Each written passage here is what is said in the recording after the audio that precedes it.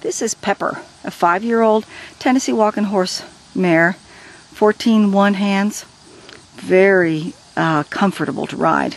And this is Kelsey, who is 15 years old, enjoying a trail ride on her.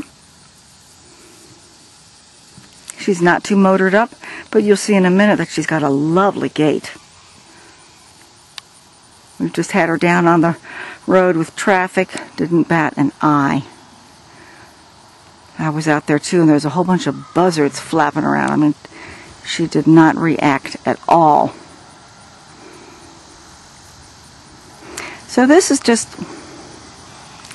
good breeding. You know, sometimes they're just, a lot of walking horses are, you know, known as the golden retriever of the horse breed. They're just very mellow and um, uh, compliant and wanting to please their owner. And this is, you know, what they're known for.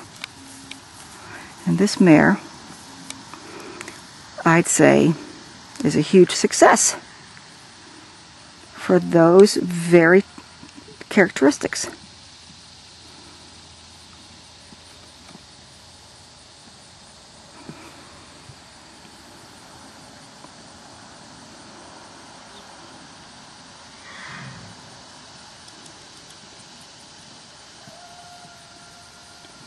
Lovely gait.